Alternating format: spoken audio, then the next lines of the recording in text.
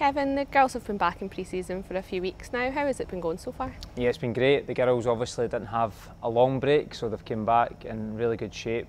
Um, it's allowed myself and the coaching staff to obviously kick on a little bit further, um, just given the fact that they had a short period off, but they've all come back physically really good and obviously really looking forward to, to the season ahead, so it's been great to get them back. Mm -hmm. In the first competitive fixtures in the SWPL Cup at the start of August, how pleasing is it to see the Cup competitions back this year? It's great, you know, obviously we're just so grateful last season that we could finish the season, but to be honest, the girls also didn't get as many games as they would normally get, so it's good for staff, for the players that we've got those cup competitions now. The League Cup format is good because it obviously allows you to get more games in a competitive season.